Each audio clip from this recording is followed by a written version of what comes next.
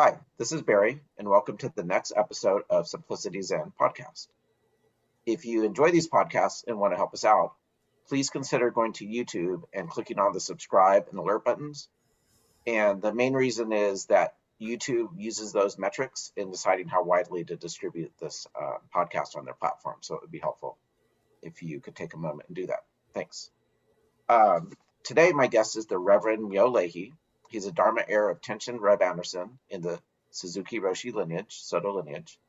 He's abbot of the Issan-ji Urban Temple in San Francisco, and he's also the guiding teacher of Valley Streams in Sacramento. Thank you so much for being here today with us, Reverend. You're welcome. Did I did I pronounce all the names right? Yeah, sure. Close enough. Yeah.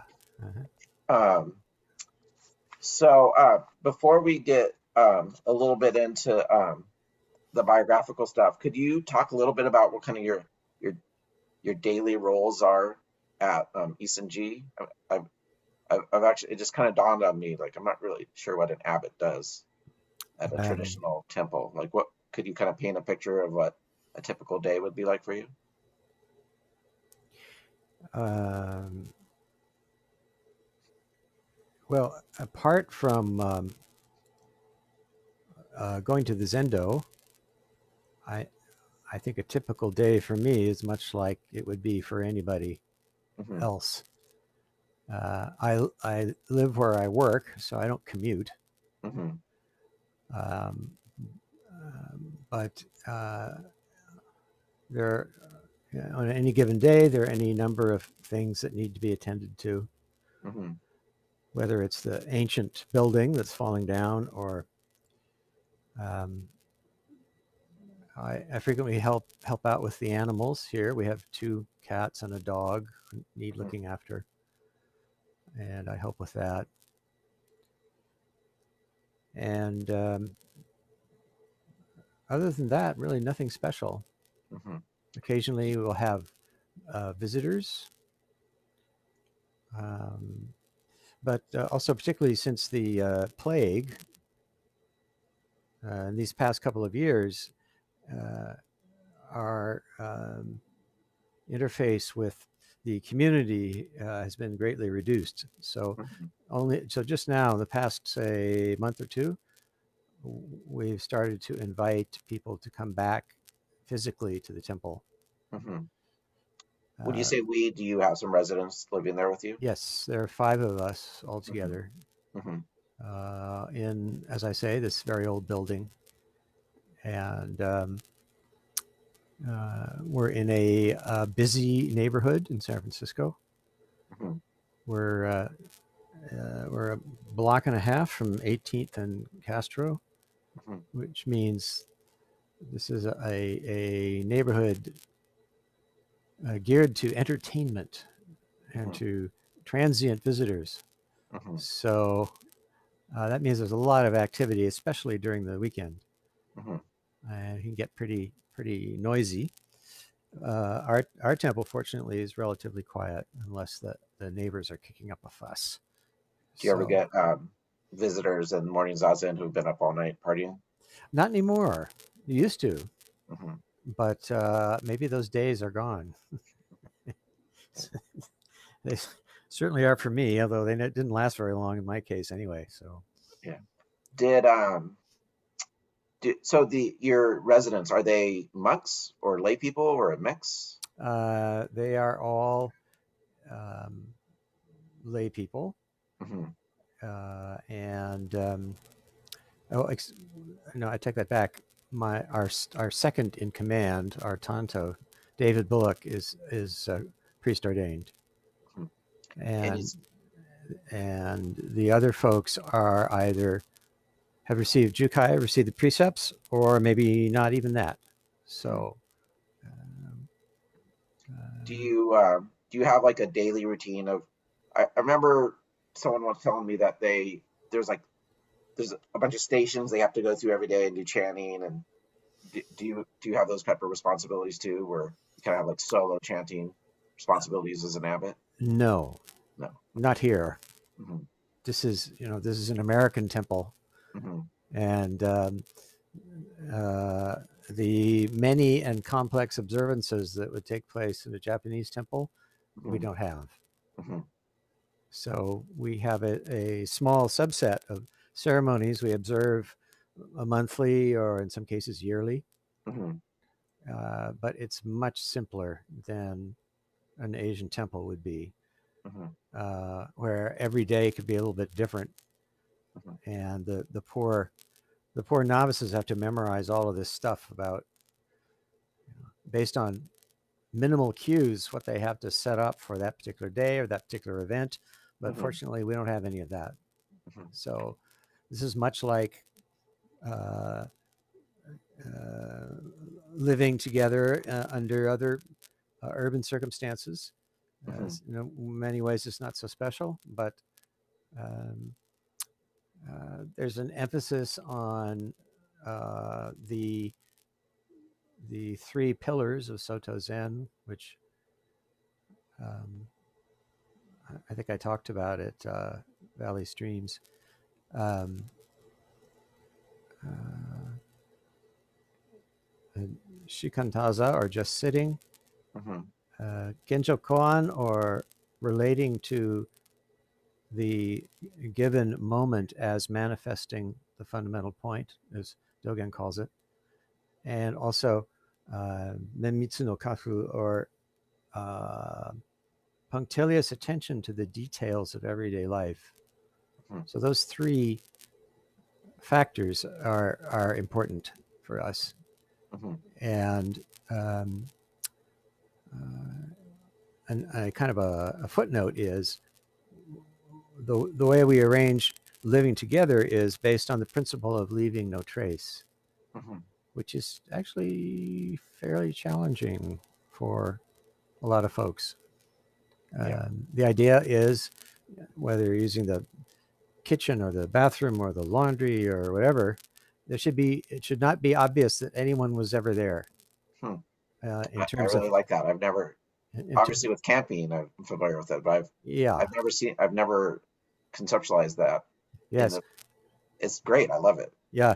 It, as I say, it presents a challenge to some folks, but we do fairly well. Mhm. Uh, so we had a, a visitor drop by a, a while ago, just a very young man. Oops, my ear thing just fell off. Can you still hear me? Yep, yep. Okay.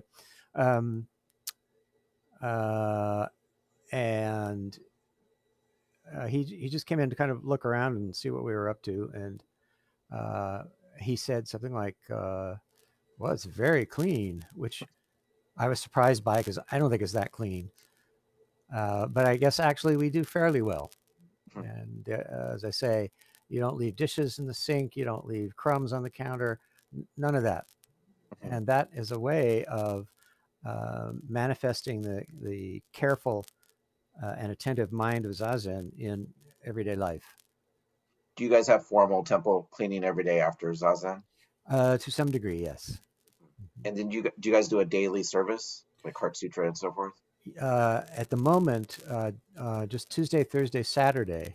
Uh, it used to be every day, and then the plague kind of knocked things into a cocked hat, as they say. So right now it's Tuesday, Thursday, Saturday, and Monday, Wednesday, Friday is what we call open sitting. So there is there isn't any ritual set up for that, uh, and we just go and do zazen. And do you um, do you do you meet regular in Dokusan with the residents? Like, are you their teacher? How does No, not, not necessarily. Mhm. Uh, there is one resident, I guess, who I would say is a student of mine. Mhm. Um, uh, but uh, just as um, well, I don't know, back in the day, Suzuki Roshi did not often do dokusan Mhm. with people. I don't either, unless somebody asks. If Mhm. somebody asks, that's fine. Mhm. But uh, I don't like expect people to turn up every day for uh, an interview. That's Yeah. uh, not my style. Yeah, yeah. I've done Dokusan with you. Uh, It was always helpful. Ah, You know. well, that's good. yeah. Um, so, uh, do people live there? Are, do they have jobs out in the community, or are they pretty much there full time? um, uh, every uh, the other four residents have uh, some degree of uh, job to look after. Mhm. uh, f- full full time in, I guess only one case, Mhm. and the others some somewhat less than that. We have, for instance, two David, uh, whom I mentioned, our Tanto. He's a professional gardener, and has been for many many years. So he has uh, he has uh, clients who are absolutely devoted to him. So he still maintains uh, a, a, reduced set of uh, uh, gardening jobs Mhm. and then uh, Jonathan, who, who also lives here, he's a, a more like a newer gardener, and he is taking that up also. But neither of them has a, like a full time job. Mhm. And do they find you through the Suzuki Roshi ecosystem, or are they all kind of from all walks of the Zen life? The people who are here, Yeah.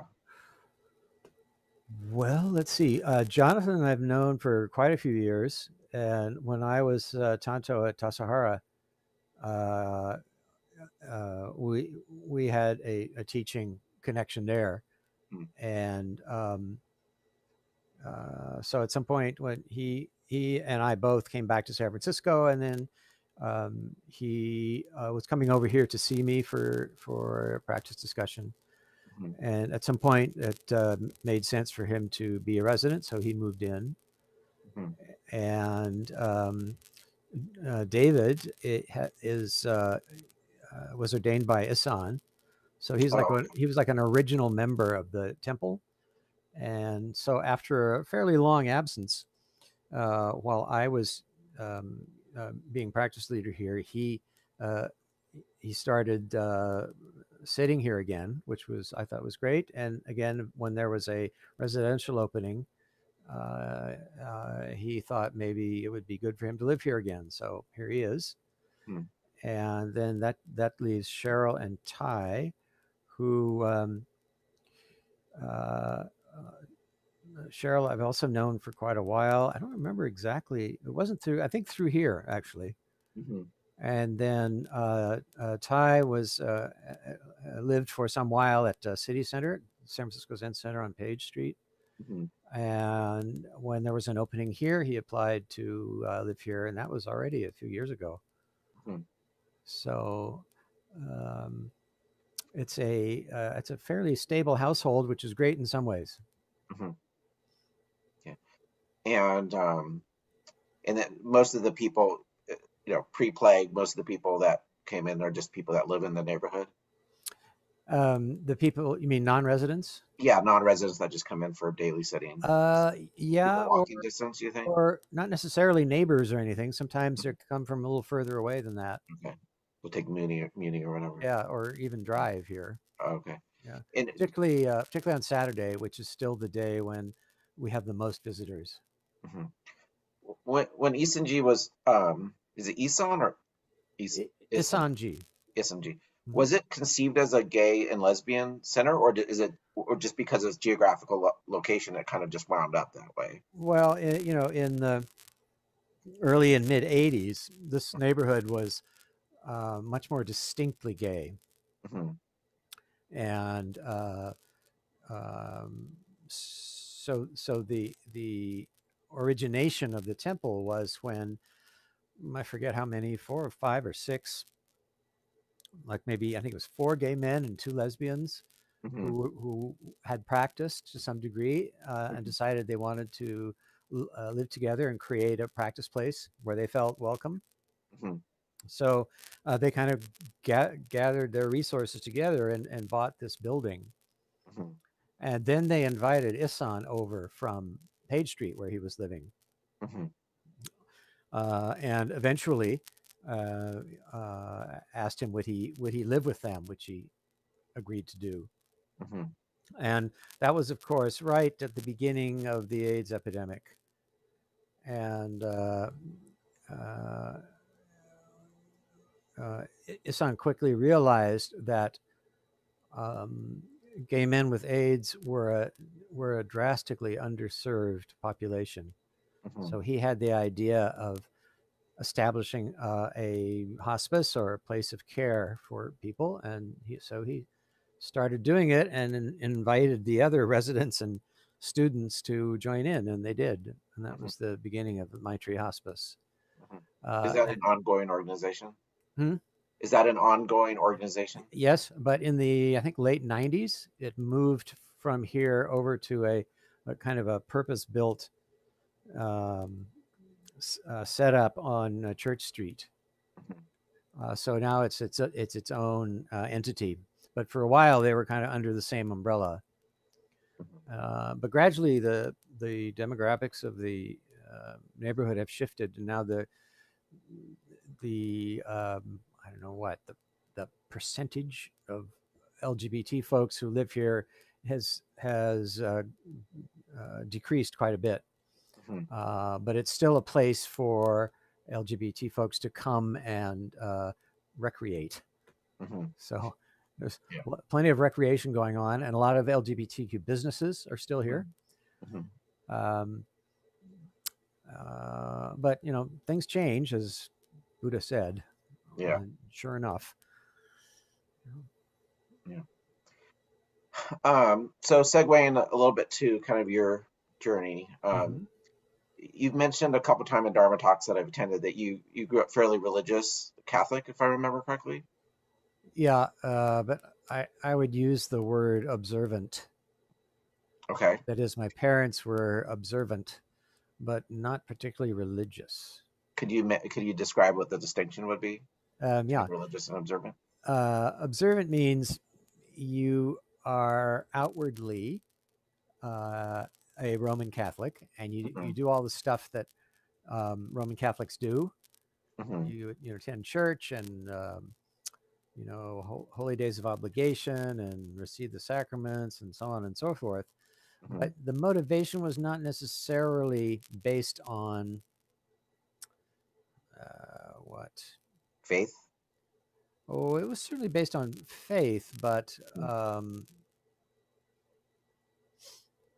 it was just something that you did if you were a Roman Catholic. Yeah. Okay, so this is what you do when you're a Roman Catholic, and that's that's what we did. Uh, it was a bit different for my, both my brother and me. My my brother, as you probably know, is a is a, a priest in the Roman Church. I didn't know that actually. Oh yes, Okay. uh, and he's just uh, a little ways down from here in, in Daly City. He a he has a parish of his own. hmm Uh, so both he and I were, I don't know what, affected by the the the numinous atmosphere that is still there to be appreciated in the observances of the Roman Church hmm and because we were both little kids and that that tends to affect one on a level that is kind of not so subject to conscious interference.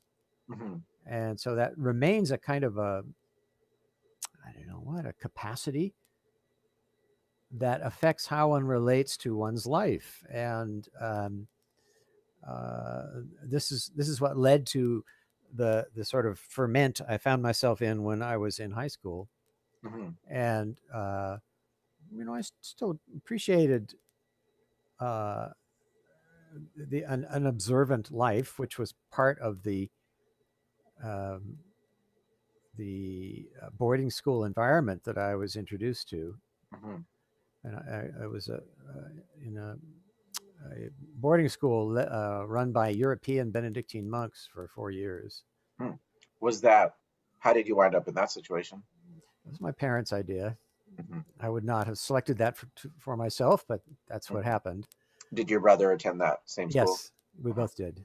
And um, did did do you think those monks kind of created a template of kind of clerical life that kind of lit a fire in you, or do you well, think it, wouldn't, it didn't lit a fire, but it was a model.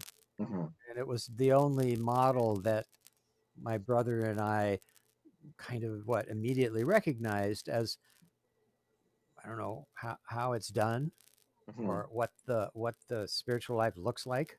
hmm And the difficulty I started to have was though uh, I I found it insufficient just to be doing the rote performance hmm of, of, of these various aspects of the faith that were presented to me. hmm and I I was aware that there was an, there were other traditions in um, Western spirituality, and I wanted to know what they were. hmm But the um, the monastics uh, were not really. I don't know what they they did not take my inquiry as seriously as I did. So, so Uh, and oh, the sorry. Benedictines are uh, maybe uh, maybe have been for a long time. They're they're one of their special um, apostolates is teaching. So this was a, a high school, Mhm. and that's kind of where where they put their energy. But I wanted to find out about contemplative life, and they weren't really able to tell me. And they kind of I kind of got the brush off, and that made me quite angry. You, you mentioned numinous before. Yes. Um, and so did so growing up as a kid or teenager, did you feel a sense of sacredness? Did, you- did you ever feel like a sense of presence or sacredness or you know, just like an intuitive sense that there was something out there or you probably conceived as God as a child, I imagine, you know. well something but it, it the the the the sense was that uh, inside of the world of the roman church hmm was a numinous something you know Mhm. i i uh, I, certainly had no sophistication in terms of figuring out what that was hmm but it was there. And um, uh, I associated that numinosity with uh, actual spiritual life. And if it, Hmm. if that was not present, then it was not valid to me. Hmm So uh, when I tried to find out how one goes about cultivating that uh, on a day to day basis in one's life, Mhm. I was not encouraged. hmm And Had so you read any- about- when I was about 14, Mm-hmm. I said, Well, to hell with you people, I'll find a new religion. So I went looking for it. Did you read any Thomas Merton or Meister Eckhart or anything like that? Uh, I read some Merton. hmm Um, and I, in fact, I remember I was carrying one of his books around uh, at at the boarding school, and one of the the monastics saw saw me with that book, and he kind of snickered and said, "Oh, that'll keep you busy." And I did not appreciate that. Mhm. Uh, so I finally said, "Well, if there's no one around here to relate to on this basis, I will look elsewhere."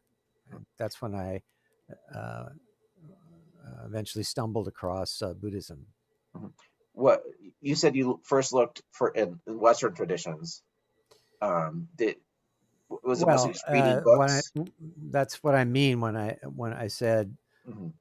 here I was in this monastic setting, and so I Mhm. thought that's where I would find it. Mhm. But there was no one there to explain it. I wonder if if through the luck of a draw, like if you like if it was Franciscans, or do they have more of a contempt contemplative say the word um yeah, Contemplative, contemplative? Um, um, not necessarily. No, yeah, okay. I mean there there there are there are probably more or less contemplative Franciscans, just as there are more or less contemplative Benedictines. hmm Uh, but I wound up with the ones who were more less. Yeah.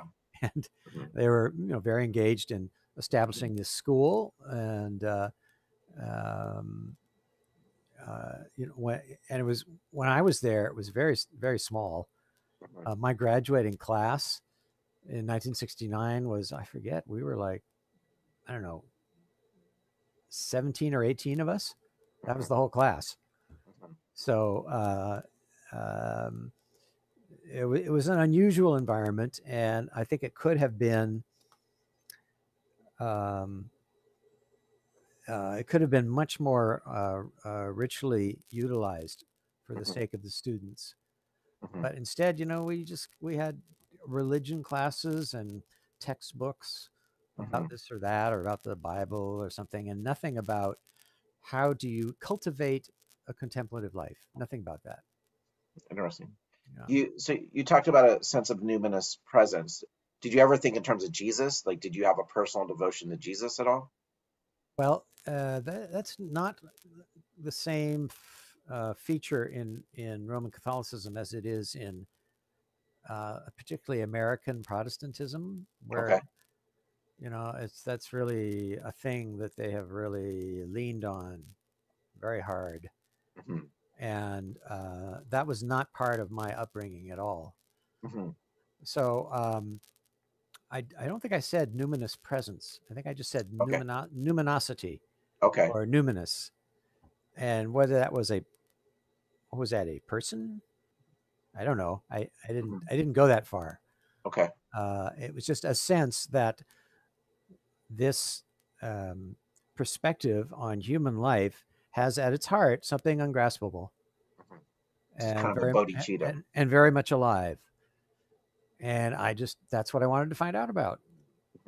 So ki- And kind of too like bad, a too bad I didn't meet Thomas Merton or Yeah. or Brother David Steindl-Rast or, or one of those guys. That would have Mhm. been great. Yeah. Brother David's one of those definitely very contemplative Benedictines, but Mhm, I didn't meet any of them.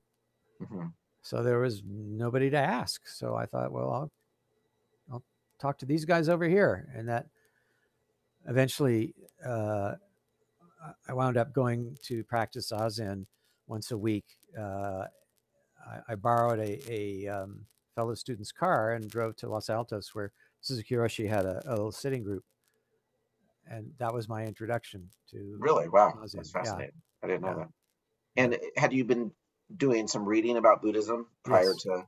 Yeah, Cool. Do you uh, I started. I started reading uh, in in Theravadan Buddhism, Hmm. which I thought was well, Buddha's uh, message, if you like, was was pretty compelling. Mhm. Um, but I eventually I, I found I didn't resonate quite so much with the uh, emphasis on j- uh, just the four noble truths.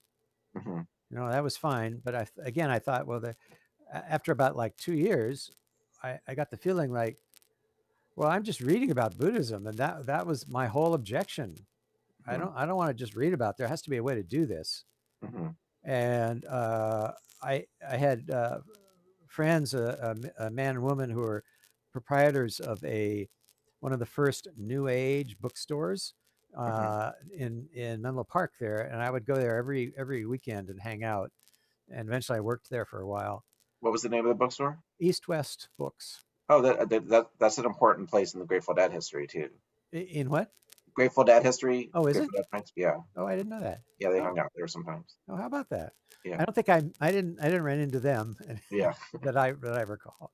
Yeah. Um, but anyway, uh, one day, uh, Bill Bill Scharfman, who was the the proprietor, said, "Oh, here's a new book that has come in, and it was uh, Three Pillars of Zen." hmm And finally, here was something you could do. In fact, you Mhm. had to do. This is, uh, you know, you could read about it, but the whole point was to do it hmm and and that was where there was a you know there's an appendix back there about how to sit zazen and that's Mm. that's where i started Mhm. and then i i learned eventually that uh, the the uh, the that lesson mary kay had set up the the haiku zendo in los altos hmm and uh, so i started going there once a week Is that where um, Be- um, Zen Mind Beginner's Mind was recorded at those talks? primarily yes i Yeah. So. so, conceivably, you were at some of the talks that ended up. being uh, i never actually saw suzuki roshi there Oh, I heard him recorded talks, but uh, um, uh, all of the the Wednesdays when I went, he was not there. Okay. but instead, uh, I met. Um, uh, I got to know a little bit uh, uh, Kobun Chino hmm uh, Sensei at the time, Mhm. and Katagiri Sensei was there, and also another guy Yoshimura Sensei, very sweet, very sweet man. Three pretty re- reasonably young um, Japanese uh, uh, clergy who had um, responded to Suzuki Roshi's request uh, that maybe they help him out. hmm So uh, one of them was always there. Did But- you meet them first or Suzuki first? Uh, I met right? I met them first. Okay. What was there anything about their bearing or mode of being or anything that was compelling to you? Um, Sense of presence. Probably, but it was not so conscious, you know. Mhm. Um, uh, one one thing that the the the Soto clergy can cultivate, not necessarily deliberately, but there's a certain elegance Mhm. about them, which Mhm. bespeaks uh, a certain presence of mind. hmm Um, Katagiri Roshi's English was very hard to understand, Mhm. but he was very he was a very sweet guy, and Mm. uh, um, uh, so as I said, uh, his his presence was was one factor, and uh, Kobun Chino's English was much better. hmm Uh, and then Yoshimura Sensei was also another very, very sweet guy, who unfortunately died of some strange kidney ailment. Um, so, so that was kind of sad. But anyway, these were all these were people I actually met, and I Mhm. didn't meet Suzuki Roshi until 1970. I see. And so, what year? What year were you working at the bookstore and going to that city? Well, that would be while I was still in high school or just after, so late 60s, hmm early 70s, maybe. did you go? Did you go to university? Yes. Huh. Yeah, I went to uh, uh, uh, first. I went to University of Santa Clara Mhm. uh, down San Jose way there, and uh, then uh, transferred to Berkeley in 1971, so I could study Sanskrit, which is what I thought I really had to do. And uh, what was the major? Was it religious studies or I started off with religious studies, but then I, I changed to Sanskrit as my that's the name of the major, Sanskrit? Um, no, it was what did they call it? South and Southeast Asian Studies. That was Oh. the heading. Fascinating. Yeah. And um, yeah, so so back it up a little bit. So you discovered three pillars of Zen. Did you start sitting on your own, or did you? Okay, I did. yeah. And uh, was there anything compelling about that experience? Like, was it? Were you ambivalent about it first, or were you immediately like, okay, this is what I was looking for? I know I was I jumped right into it. Mhm. Something I really wanted to do for good or ill, you know, not like I was at all clear about what I was taking on. Mhm.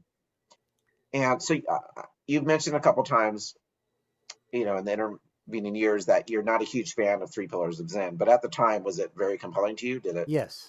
Yeah. Yeah, at the time. I uh uh the um the the subtlety and profundity of Soto Zen was uh I, that was a long ways away from me at that point.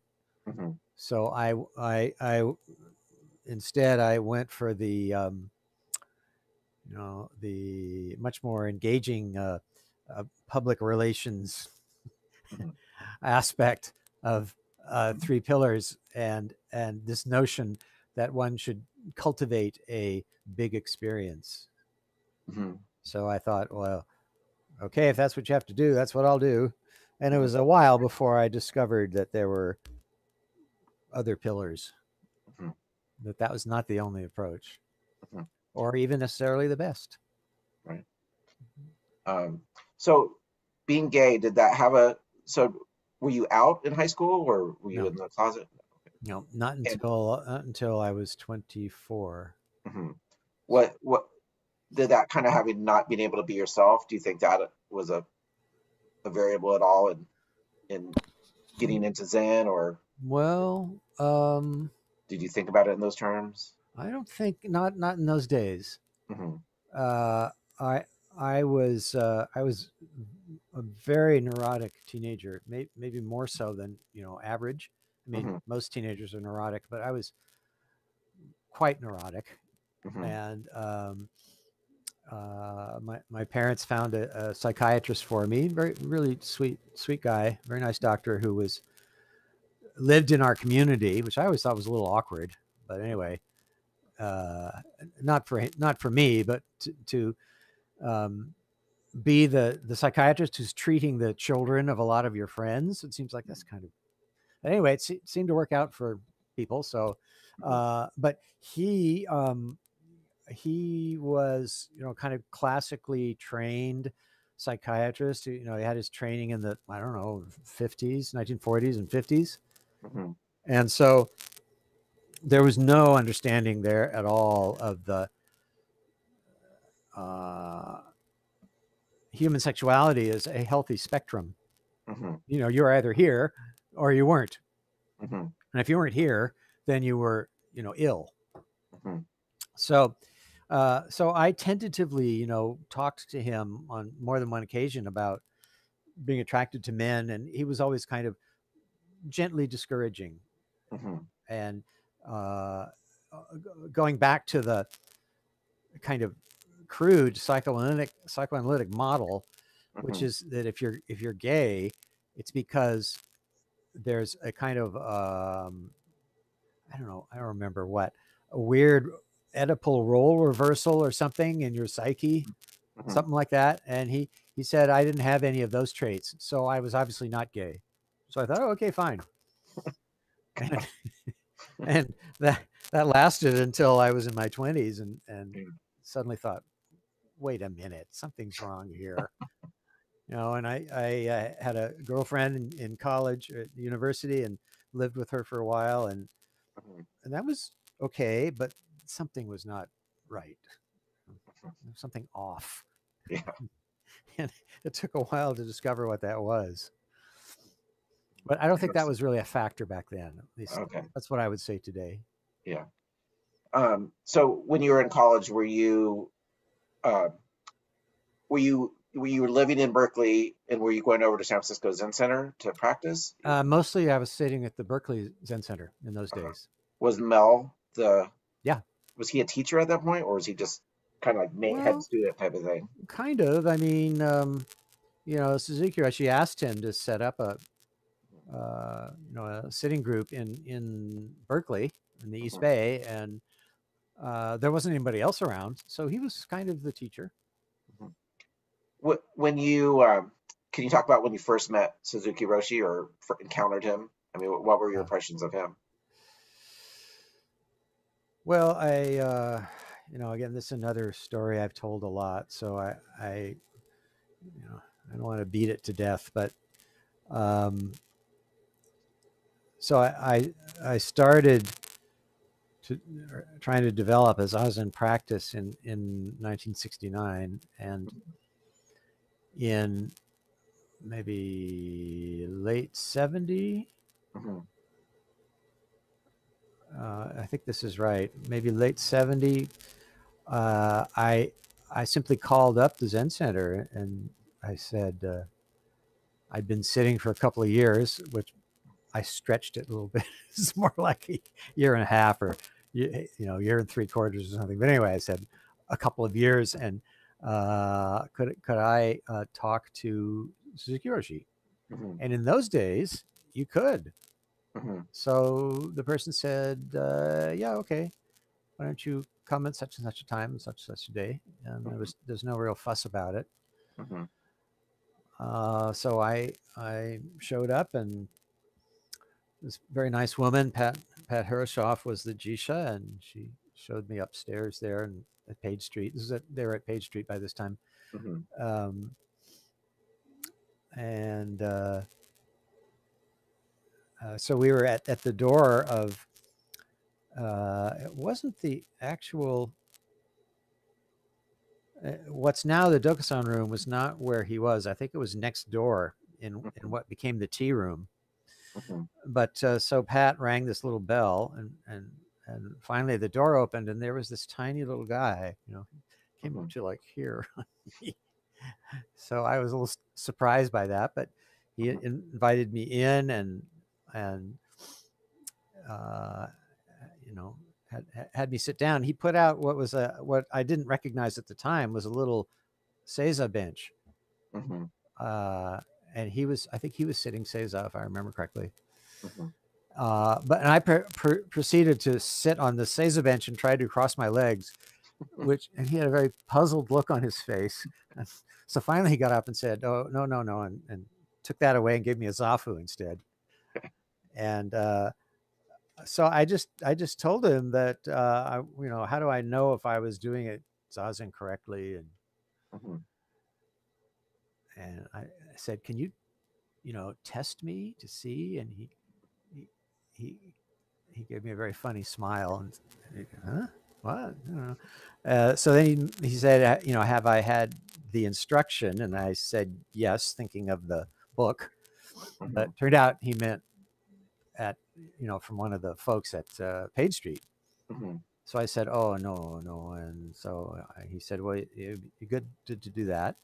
And then he wanted to hear all about my university life, Mhm.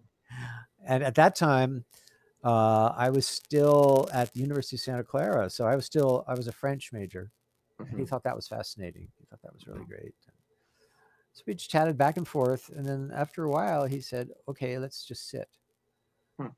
And so we just sat there, and you know, I kept, you know, peeking at him and see what he was up to, and he wasn't doing anything. And uh, uh, you know, it felt like a really long time. It Mhm. was probably like five minutes. Mhm. Were you? Did you have any like, oh my God, this is an enlightened Zen master here in front of me, or No, kind of that transference? not not at that time. I did not. Yeah. Uh-huh. I, I just sat there with because he was just sitting there, Mhm. and uh, that was that was my real introduction to zazen. Let's put it that way. Okay. Uh, and finally, after you know a month or whatever it was, he said, "Okay." Uh, bowed. Oh, but first, uh, when I went in to see him, I, I did the what I thought was the traditional prostration, Mhm. and and then but he got up right away and said, "Oh no, your bow is not perfect." So then he came over and stood next to me and showed me how how to do a, a Mhm. prostration. So Mhm. that was a that was an important teaching for me at the time, although I didn't realize it. Mhm. And um, so then I asked him, you know, oh, I said, you know, thank you very much. Uh, can I can I come back again and talk to you? And he said, sure. Mhm. And that didn't happen know, Mhm. because not long thereafter he got sick and then Yeah. couldn't see people. Mhm. Uh, and then his his disciple Richard Baker came back from Japan because uh, Roshi was so sick, Mhm. and uh, and I decided I would work with him. He was this you know big charismatic guy and um, spoke perfect English, obviously, and I, that was a real treat. You know, I wasn't having to filter my communication through uh, partial knowledge of English. Mhm. Uh, so he became my teacher for like 13 years. Did um, so when he came back, you were you were in Berkeley at that point, Uh, yes. Uh-huh.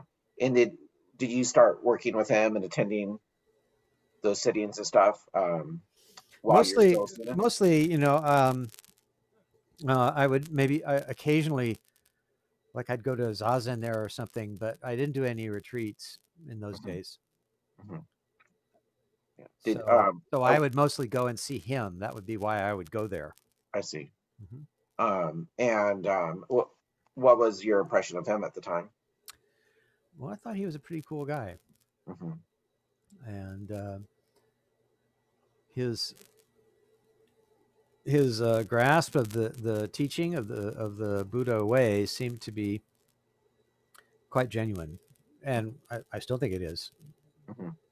Never never mind all of the subsequent goings on, hmm but uh, I think I think he understood the teaching, and uh, uh, unfortunately, there was that whole business of uh, Suzuki Roshi arranging for him to practice at Eiheiji, hmm and and he decided, you know, he'd been at Eiheiji, I don't know, a couple of weeks, and then he called Suzuki Roshi up from Japan and said, "Well, nope, can't do this." Suzuki Roshi, like, uh, you know, I really had to pull a lot of strings to get you in there. They don't take to Westerners particularly. This was in Mhm. those days, you know. hmm And Baker Roshi was like, "Well, you know, no, can't can't do it. Sorry." hmm And uh, Suzuki Roshi, you know, said, "Well, well, what are you going to do?" And uh, Baker said, "Well, you know, I have friends in Kyoto, and um, they live right in they live next door to Daitokuji, this huge Rinzai complex there in. Kyoto, and." Uh, one, and one of the temples said he could come and sit with them. So Okay. he started sitting Rinzai style. And Hmm, brought aspects of that back from Japan with him, and I do not think that was helpful. Uh, when you say aspects of that, do you mean like a an intensity or a bearing or what would it be exa- like a practical example of that? Um,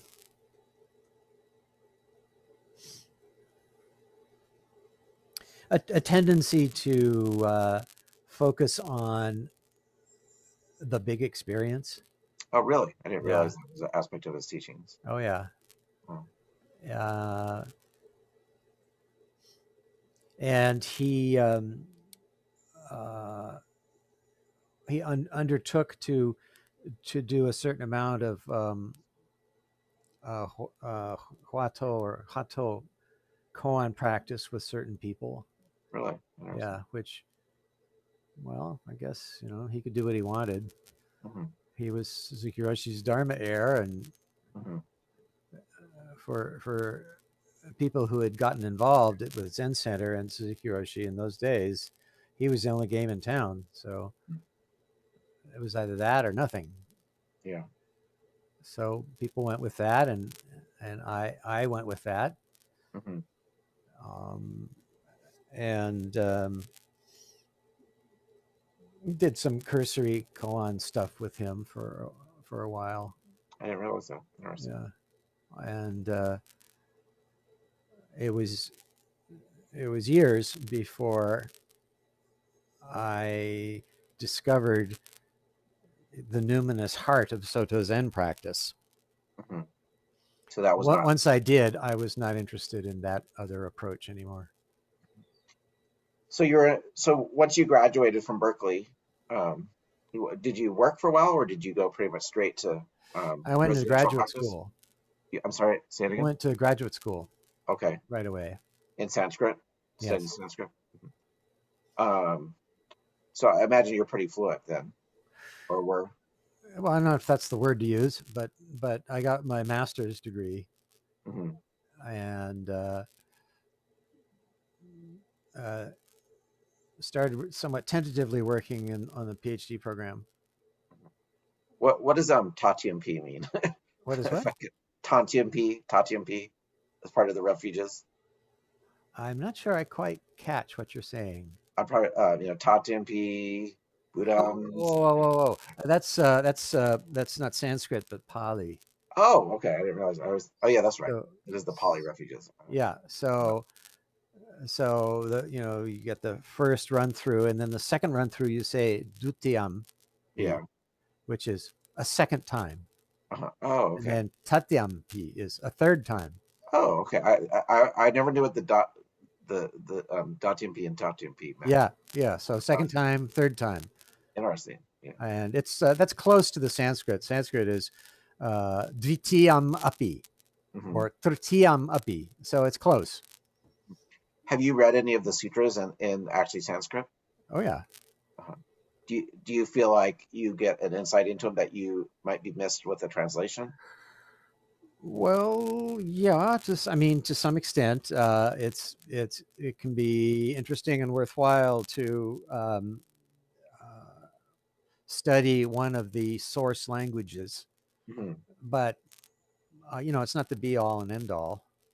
Yeah, because it, it really blows my mind how much a translation decision can shape understandings. Like, for example, you know, the three poisons. I, I can't even remember the Sanskrit or or um, Pali term, but what's what's often translated as um, hate, which I always thought was like hate, you know. Mhm. But when I really dove into it, I realized it was really aversion, like just a, aversion in general, not just intense hatred Mm, mm. you know, and, and, and like that kind of like really changed my understanding of that kind of in a pretty profound way. Ah, But it, but, but it was all due to just to translation decisions. you yeah. know, Uh huh. You know, but um, yeah. So uh, so did you finish your graduate degree? Uh, the master's, but I I abandoned the PhD Mhm. and and by I don't know 1980 or so, I had had enough of Sanskrit. I wasn't gonna. It's like it was like 10 years, and it's like Yeah. enough already. I I don't actually want to make this my life. So Were, were you thinking of maybe becoming a professor or like going to academia? Well, I would have probably had to do something like that, Mhm, and it didn't really have much appeal. By mhm, that time, after 10 years in academia, mhm, I I, I had seen its its uh, its uh, seamy underbelly, mhm. and you know the politics of academia can be just as awful as any other kind of politics, Worse than Zen Center? huh? Wor- As bad as Zen Center? I'm just kidding. Uh, oh yeah, or worse, you know. So I thought, okay, no, I don't want to spend the rest of my life in academia. Mhm, And by that time, I was uh, shifting very definitely more in the direction of doing mental health work. Hmm. It was something that I felt more drawn to. mhm, And um, that almost coincided with the beginning of the AIDS plague. mhm, Uh, that blew everything up in, in my face. mhm, and so in um I guess that would be 80 in 81 uh I- it's like i caught the first whispers of Mhm. something really terrible happening. Mhm, and um and somehow and that like drastically shifted my whole perspective. And i realized i'm you know i i may have been telling myself for years well you know i'll eventually be ordained and and and and live as a monk and so forth and Mhm. i s- suddenly it was brought home to me that you know what you may not have time mhm. so so if you're going to do it, do it now. And so I did. Were you involved in like a party scene at all, or were you kind of like Not not or- really. I mean, I Yeah. I was definitely pursuing uh, boys Mhm, and and uh, interested in in uh, you know establishing a, a substantial relationship as an aspect of my practice. mhm, But it, that did- never actually worked out very well. mhm. And in those you weren't, like, days, in, in All- those days, at- like you weren't like in like the nightclub scene. Or, No, no, no. I was not. Yeah. Uh, I mean, I you know I dipped my toe in there uh, Mhm, enough to realize I, I this did not appeal to me. Mhm. Um, uh, but so anyway, in I guess it was probably late '81, uh, I went to Zen Center and said, "I, I uh, could could I please move in here?" and because I, wanted to drop everything else mhm, and just just practice the Buddha way. Mhm. And as it, at the time, uh, the director at the Page Street Temple was Issan, Oh, okay. and I already knew him because I had been going to Tassajara in the summer, in, like in the seventies, mhm. and I met Issan there any number of times. Like his work, like a work practice student. Yeah. yeah, I was a guest student, Mhm. a- and uh, it was uh, he was a great guy, you know, especially for another gay man to find a kind of a role model. Mhm, uh, but anyway, he was the director, and and so he helped me uh, arrange things so that I could move in pretty fast. So that was the late '81, and in February of '82, I moved in there. Had you taken Jukai by this point? N- Not yet. How about had you? Did you have any extensive session experience or? Uh, no, uh, just just shorter sittings. Mhm. So Like like, one know, one or two classes. days or something like Yeah. that. And my first seven day was in the fall of uh, or summer of um, '82. Mhm, and then that fall, Baker Roshi allowed me to go to Tassajara, which was very fast, actually, and maybe in Mhm. some ways too fast. But mhm. I was, I was, you know, that's what I definitely wanted to do. So off I went. And, And uh, you saw Baker Roshi as your teacher. yes, oh, definitely. and- and you you were a dedicated student. Yeah. And um, did he, so so we moved it. So you got to Tassajara prior to Jukai then. Yes. Uh-huh. Right. What, what was that like for you? Well, uh, you mean what was? Uh... I'm just going to Jukai is kind of like a oh, like, well, like see, without uh, a strong base of you know Yeah, practice and so I was at uh, Tassajara for a year or so, and then the following spring, you know, in '83, that's when the the blow up happened, Oh, okay.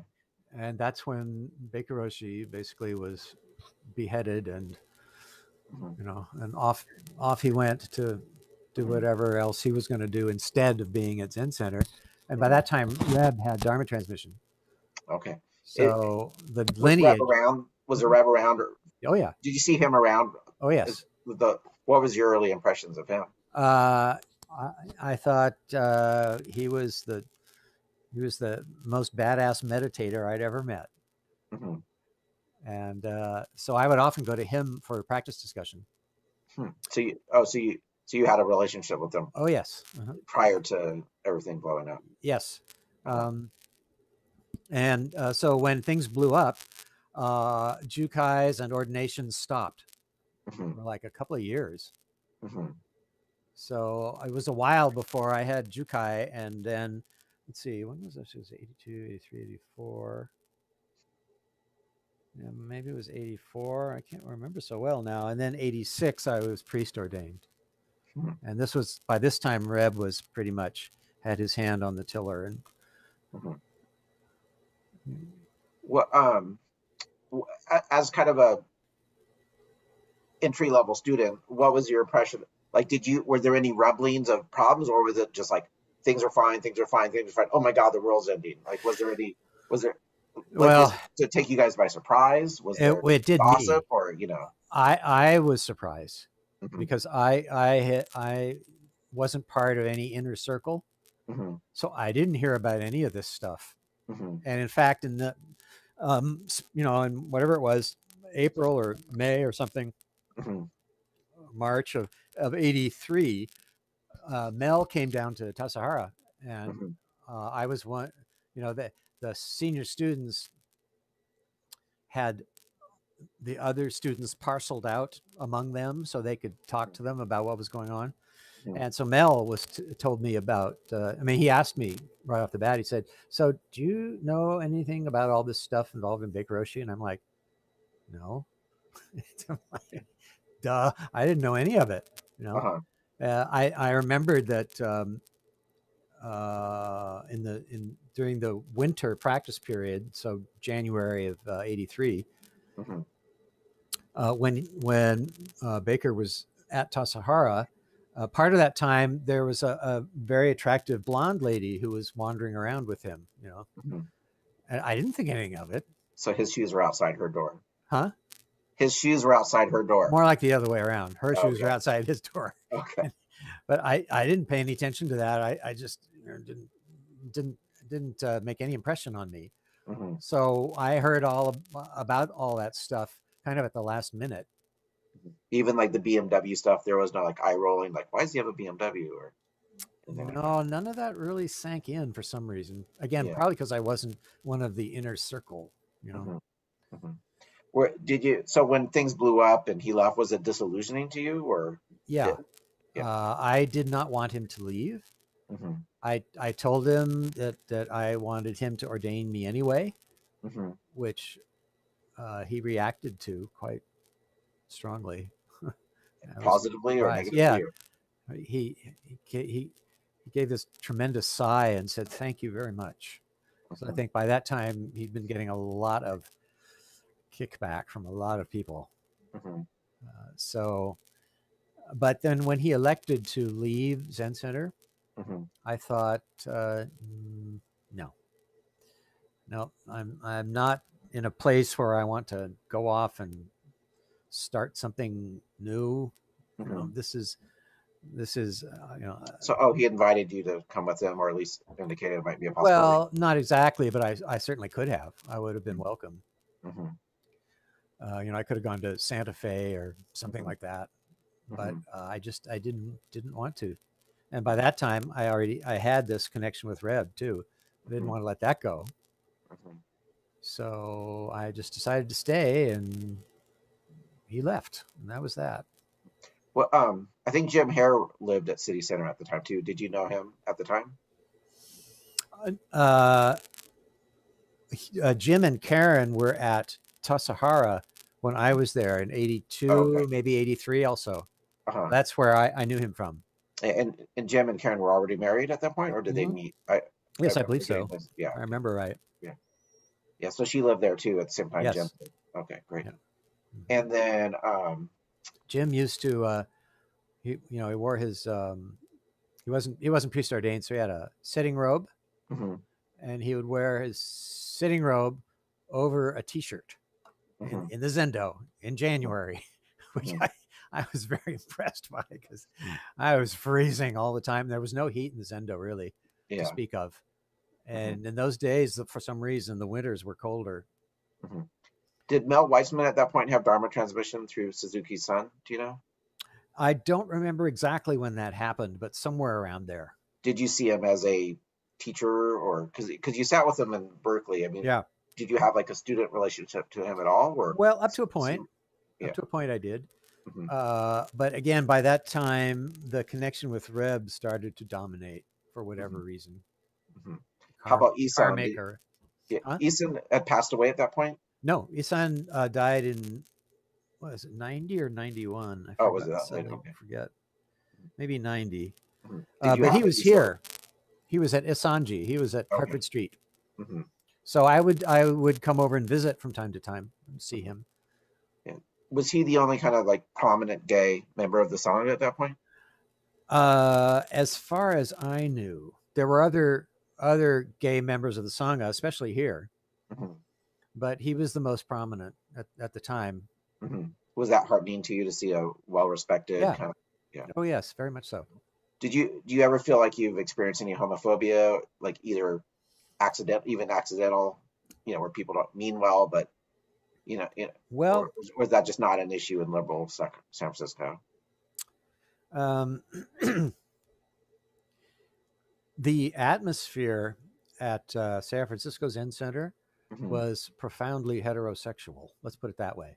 mhm, Uh, That didn't necessarily translate into homophobia exactly.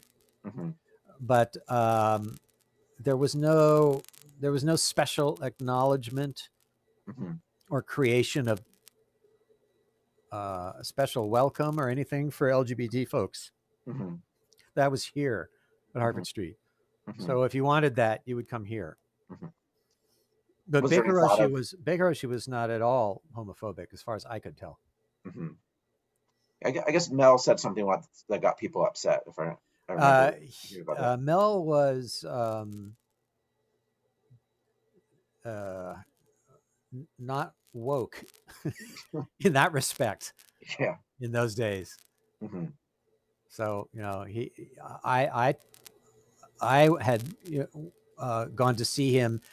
You mhm, know, maybe in the late seventies. I would periodically I'd go and talk to him at uh, Berkeley Zen Center mhm, and and and stuff to do with with relationships and whatnot. mhm, and he was he was not real comfortable with it that was my sense mhm. he wasn't like off-putting or Mhm. dismissive but he wasn't at ease let's put it that way Mhm. Yeah, I mean he's he's even an older generation or was an older generation than Baker Roshi even, right? uh, somewhat Yeah, I mean and it could I wonder if some degree it's just he's from an older, more conservative generation, you know. yeah that's quite possible Yeah. Mhm. And uh, so any thought of going to live with Issan or asking him to be your teacher or anything like that? No for whatever reason you know he he- was more like a friend. Mhm, and i think i think that was fine with him. He was happy to relate to people that way. Mhm. um but in terms of like teacher that that was reb. You know there wasn't any question about that in my mind. I- I've I've yet to read his biography, criminally enough, but my understanding is he's super charismatic, super welcoming, really just loving individual. Is that do I have the right gist of him? uh he he was you know at, at ease with all kinds of people. Hmm and uh i was not. So i i admired that. Um uh, yeah and he was very welcoming. He was not at all judgmental. Uh so people immediately felt at ease with him and at home. Hmm uh so so that's a kind of charism. Yeah. yeah Um, okay, so Baker Roshi left. Um, you didn't get ordained with him. Did you pretty quickly officially become Reb student and do Jukai Yeah. and so forth? Mhm. And at this point, you were all in. You were you wanted to get ordained and Yes, and have Zen as your life. right, Mhm. right. And that, And- that lasted until 91, I guess, when uh, I had returned to school to do another master's in, in counseling psychology Mhm. and met another man there. And I had an eight year relationship with him. Did you move out of San Francisco? I did. Oh, I didn't know that. Okay. Yeah. For like three years, something like that. Mhm. And then when he kicked me out, uh, I moved back to Zen Center. During those three years, did you maintain your relationship with Reb? And Yeah. And Mhm. you were still You'd still go to the sittings. And, And when I could, I would uh, I would go up to Green Gulch. I still had a truck in those days, so I would go to Green Gulch and go to the seminar for his senior students that he was Mhm. holding, or uh, uh, attend a class or something like that. Yeah, I made an effort to stay in touch. and were you ordained at this point? Uh, uh, Jukai, but not priest ordained. Okay. Oh wait, So yes, you- I was. Sorry, I was priest ordained. uh, Sorry, in '86. So Uh-huh. yes, I was priest ordained. Uh-huh. What did you? Did he seem disappointed you were ordained and left? Because I, I remember uh, when I was interviewing Kokyo, I guess Kokyo left for a relationship at one point and got the sense that, you know, he asked, um, he asked, um, you know, um, Reb Anderson, like, are you mad? He's like, no, maybe just a little embarrassed. You know, did you get any of that sense from him? Well, when I moved from Green Gulch to the East Bay to to live with my partner, hmm um, uh, I, I, I just remember one one day I was at Reb's house and Rusa was there, Mhm. um, uh, and um, uh, somehow that this topic came up. You know, like uh, uh, I and maybe I think maybe Rusa said something about, you know, well, sorry to see you, you know, moving away, hmm and then and Reb said something like, "Oh, it's really a non-event." And Rusa gave me this look like, you know, rolled her, her eyes to heaven. It's like, what are you, what are you gonna do with this guy? You know. so, um, Maybe Reb knew you would be back or something. He, suspected. yeah, maybe, Yeah. maybe. Um, Uh, So so what- just just so you know, it's a quarter after, and I Mhm. have something else I have to do at at uh, two thirty. So, okay.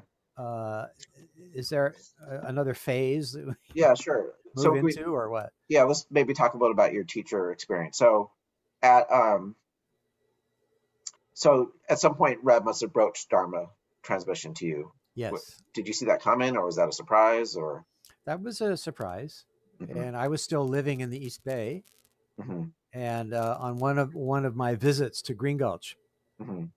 yeah, so that would have been what 90 let's see 92, 93 probably like 93 maybe Were He you said- one of his first Dharma transmitted priests? I'm trying to think of the list. um, well i was in the first group of priests that he ordained who were all his students I see. and there were six six of us and i was one of those Mhm, and uh, so in like 93 or something when when i was visiting he said uh, i'd like you to sew a brown robe And that was a surprise i wasn't particularly expecting that And is that something you kind of did secretly or was that kind of or would you- secretly I mean, like, would you go to the sewing groups and sew with everyone else? And Sure. like, oh my God, he's sewing a brown robe, or you know. uh, yeah no it wasn't, wasn't secret at all Yeah. uh, and he basically told pretty much all of that of his first ordination group we, us six people Mhm. um, i think there was one member of that group who was not really in touch in those days so Mhm. i think she I, at that time at least i don't think he asked her to to sew a brown robe And, and the reason I'm asking this question is because I remember in the, um, I don't remember if it was in David Chadwick's book or um, Shoes Outside the Door, but apparently, like the first indication anyone had of Baker's or of Reb's transmission is one day he started wearing a yellow robe, you know, an ochre robe. And so I was just kind of wondering, like maybe it's kind of kept hush hush or something, or if that Mm. was just unique. Okay. No, uh, boy, I, I don't remember it like that at all. I mean, I was at Tassajara at the time, Mm. um, but um, it was just it was it was just known that that uh, Baker would be doing the transmission ceremony with Reb. It was just that's what was happening. I see. And so Reb came down to Tassajara and, and they, they did that ceremony there. And that was 83.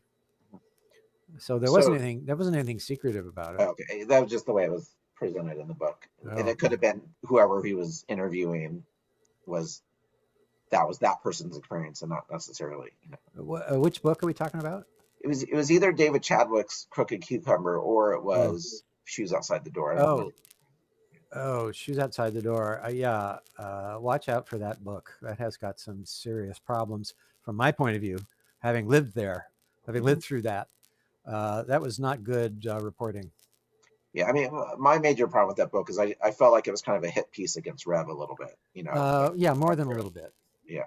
And Reb just refused to talk to the author, and so he had his revenge, I guess. Yeah, that was. I mean, that's the sense you get reading the book. Yeah, Yeah. yeah. Um, so after you got transmission, did you um, were you you were living in the East Bay at that point? Um, yeah. Uh, let's see. Uh, oh no. Um, so I I I uh, of the six of us, Mhm. uh, I was the first person that he did the ceremony with. I see. and uh, so that was in '99. Mhm. And I, I I was living in the city at that time. It's at uh, um, uh, 340 Page, so Mhm. next door to the temple. And Mhm. I was the chief financial officer, so I was working in the office a lot. Mhm. Uh, and then uh, at 90 in 99, I resigned that office and went down to Tassajara to do the transmission ceremony. And shortly thereafter was asked if I would be Tanto at Tassajara. in that in Tanto, if I really understand the role in that um, system, you you you just it's more um, you, you you're the boss of how the temples run ceremonially and religiously, and is, is that kind of the the main role of it, or like how how do you characterize Tanto at Tassajara? What, what are your Um, responsibilities? The the the Tanto is sort of the assistant to the abbot, something Mhm. like that. Mhm. but that means that the the abbot or in in zen center's case the abbots plural Mhm. they're really in charge Mhm. so uh, I, I often found it a little frustrating to be honest uh, because someone it's like someone else was always like pulling the major strings Mhm. and i was kind of like uh, i was like the the master of ceremonies or something Mhm. and uh, so I would have to adapt to whatever the um, practice period leader, whoever that was that turned up that time, I Mhm. would have to adapt to that, Mhm. uh, whatever it was they wanted to do. And when it was Reb, it was great because I uh, I felt I understood his mind and Mhm. uh, felt that working with him was always very very dynamic. There's no struggle there at all. I didn't have that feeling with all of the other visitor visiting dignitaries. Mhm. Um, so how did you um, so, so you were Tanto? Didn't did was your next kind of priest career step? Was it becoming abbot of Issan-ji? Well, um, I, I uh, stepped down as Tanto at Tassajara, which I, I probably shouldn't have done, Mhm. but at the time, that's it seemed like what I should do. Mhm. So then I came back to the to uh, Page Street, and I was living there. Mhm. and the um, the people who were then on the board of Hartford Street Zen Center Mhm. asked me to come over and practice with them, Mhm. and that was the start. Mhm. And I don't remember what month that was, probably like August or something. Mhm. And then I think in October or maybe late September, um, uh, it was thought that I could live here, and so I moved over here. and Mhm. that's now almost 20 years. And that it, it, was explicitly to be abbot, correct? Well, that not word was not used. Okay. So there was no like mountain seat ceremony. Or, No, no, that was years later. Oh, okay. Yeah.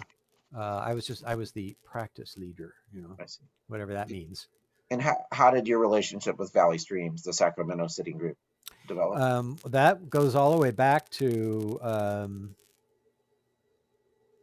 2001, maybe, Mhm. when I was I was uh, Tanto at Tassajara, Mhm. and um, maybe I had already visited. um, Although in those days it was called Iron Bell, Mhm. not Valley Streams. I Mhm. had already visited Iron Bell. I don't know, maybe a few times, Just as a visiting teacher. visiting teacher. Mhm. And then when I was at Tanto, they they continued to ask me would I come up to maybe once a month or so come up to Sacramento, and Mhm. so I did. So Mhm. that's more than twenty years now. Yeah. Um, and so that was pretty early in the group's existence, I mentioned. Mhm. Yeah. And uh, so you, you you said you shouldn't have left your Tanto position. Was it was was leaving because you got frustrated with the rotating cast of abbots coming in, and Yes, It- somewhat. yeah. And, And why do you think you shouldn't have left? um, partly because uh, without realizing it, I surrendered the possibility of retirement at Zen Center. I see. and that that was a whole it was a poisoned well to drink from unfortunately Mhm. uh, because i thought i had you know established that i could return to zen center if i Mhm. wanted to retire there Mhm. and i asked i even asked the uh, the the cfo at the time could you please check and see and he got back to me and said yes you can Mhm. and next thing I knew, no, you can't. so uh, that was a um, serious problem for me. Yeah. Um, So I could have stayed there, and um, my teacher, bless his heart, you know, he'd been at at Zen Center since he was like 19. mhm. And he did he had very little experience of or understanding of what leading a group without those kinds of supports Mhm. would mean. Mhm. So he was not able to tell me, "Oh, wait a minute, you better watch out." Mhm. And if you do leave, you you may find that you're you're sacrificing a lot. Who makes those decisions? The board? Uh, what decisions? Who could who can retire and who can't? Who can stay and all that? kind Oh. of? Oh, well, while my back was turned, you know, they came up with a policy. So now at Zen Center, everything is like policy. So the policy was you have to have 20 years of employment. I see. And uh, anyway, Mhm. somebody asked me, I won't name any names, but somebody asked me, Oh, you, you should calculate how many years of employment you have. And my uh, my friend in San Francisco here, who had been a labor organizer, Mhm. said, "Don't do it." He's the one who told me back when the CFO told me, "Yeah, yeah, your your retirement is okay." He told me, "Get it in writing, get it in writing," and I didn't. Mhm. And then he said, uh, "You know, uh, don't don't don't. It's not up to you to do that calculation. Mhm. If their their le- eh, records don't have it, then Mhm. what the CFO already told you stands." Mhm. but unfortunately i i acquiesced and came up with 18 years which was not enough so I see. anyway that's that was a bitter pill but so Yeah. i'm sorry i kind of have to stop Yeah, no, yeah. Not, not, uh, that's uh, you're more than generous with your time so far. So thank you so much. sure uh and and as they say the rest is history and i've been Yeah. here been here it'll be it. it'll be 20 years in september so it's like how did that happen Yeah. anyway Well, thank did you so much. Sure, you're welcome. So is this this is a podcast? Is that what it's going to be? Yeah, hmm I'll send I'll send I'll send you the link to it. Okay. Okay. All right. Th- thanks for your time too, Barry. Yeah, thank you. okay. All right. Bye for now. Thank you.